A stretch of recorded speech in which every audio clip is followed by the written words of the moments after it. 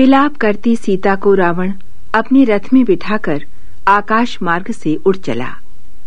मार्ग में एक स्थान पर गिरिशृंग पर बैठे वानर समूह को देख सीता ने अपना एक वस्त्र खंड गिरा दिया। उधर मारीच वध के स्थान पर अनुज लक्ष्मण को आया देख श्री राम ने चिंता प्रकट की। उनकी आज्ञा का उल्लंघन कर लक्ष्मण वहाँ क्यों चले आए? गोदावरी तट पर आश्रम सूना पाकर सब कुछ स्पष्ट हो जाता है। विलाप करते, वन में भटकते दोनों भाइयों की तब जटायु से भेंट होती है, जो रावण से युद्ध में परास्त होकर जीवन की अंतिम घड़ियाँ गिन रहे हैं। श्री राम के दर्शनों के लिए अब तक उनके प्राण टिके हुए हैं।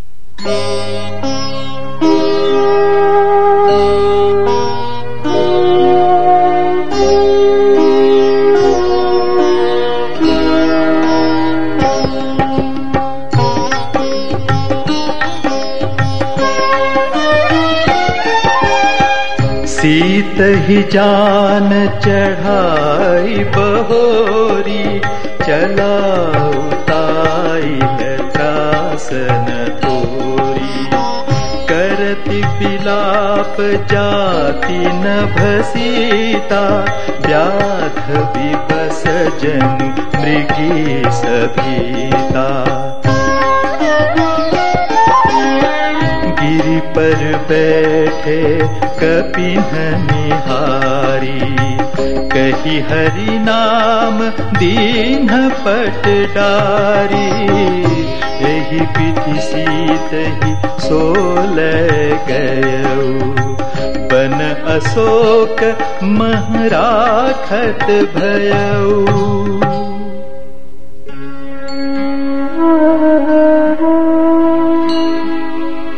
हारि पराखल बहुविधि। भयरु प्रीति दिखाई। तब शोक तर राखिसि जतन कराई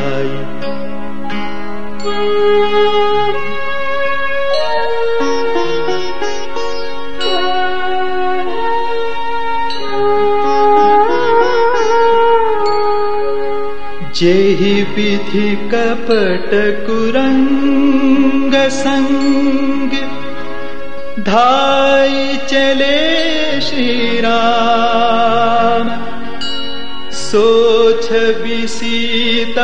राखी उरे रटती रहती हरि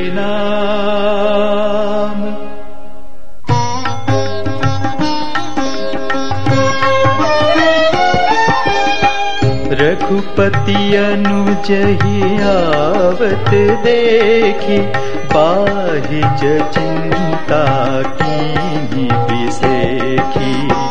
जनक सुता परि हरि हुआ केली आय हुतात बचन मम पेली।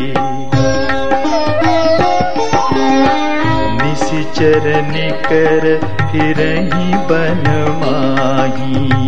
मम मन सीता आश्रम नाही गही पद कमल अनुज कर जोरी कहे नाथ कछु मोहिन खोरी। अनुज समेत गए प्रभु तहवा। गोदावरी तट आश्रम जहवा आश्रम देखी जान की ना भय विकल जस प्राकृत दीना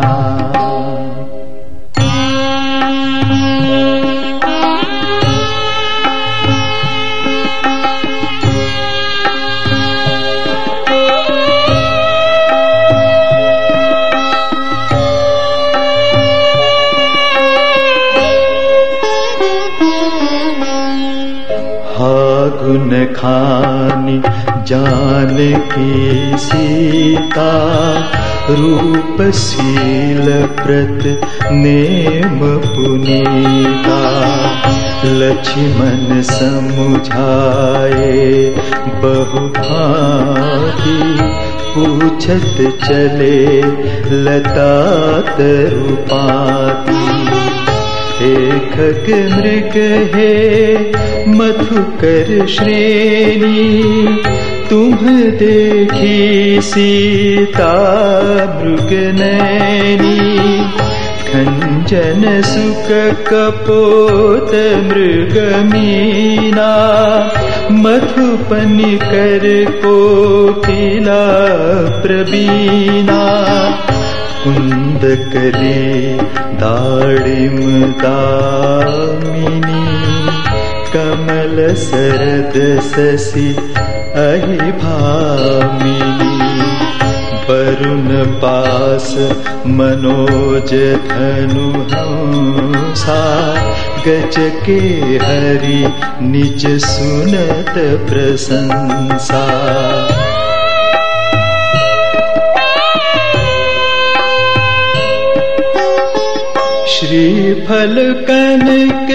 कदली हर शाही। ने कुन संक सकुच मन माही। सुनु जान की तो ही पिनु आजू। हर्षे सकल पाई जनु राजू किमि सही जात, अनख तो ही पाही। प्रिया बेगी प्रकट सिकस नाही। एहि विधि खोजत बिलपत स्वामी। मन हो महा बिरहे अति कामी पूरन काम, राम सुख राशि। मनुज चरित कर अज अविनाशी। आगे परा गीत पति देखा सुमिरत राम चरण जिन्ह रेखा।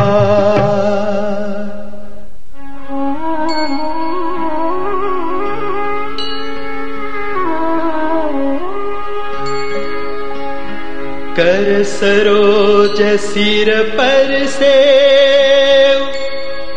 कृपा सिंधु रघुबीर निरखिराम छवि धाम मुख। विगत भई सब पीर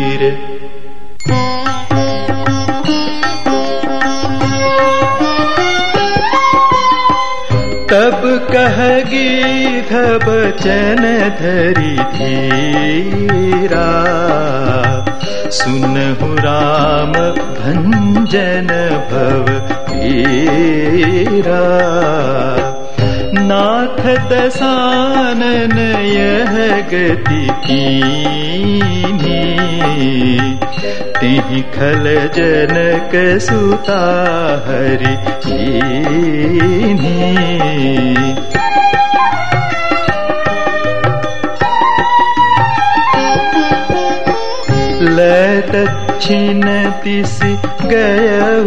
साई बिलपति अति पुररी की नाई। दरस लागी प्रभु राखे प्राणा चलन चहत अब कृपा निधाना